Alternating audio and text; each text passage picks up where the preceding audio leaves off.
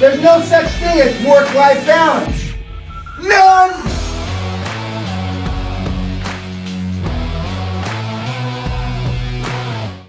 Just fucking do it. Subscribe now.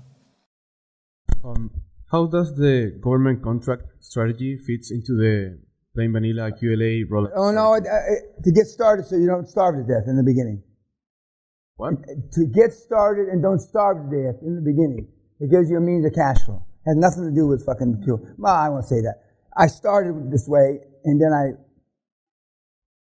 I uh, pivoted, I guess, into into QLA. But if you're not eating, and you you can't pay your bills, and you're not uh, um, able to put food on the table, you don't have an opportunity to QLA. So this is what how I started because I didn't have any money.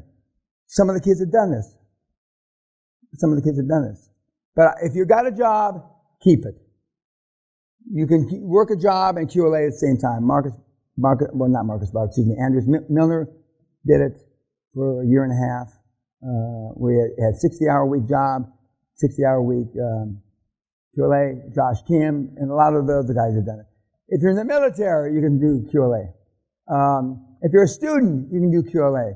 But I tell more students if you if you're not in your last classes of uh, being a student, get out and get out and you know do it. Of course, you got to support yourself.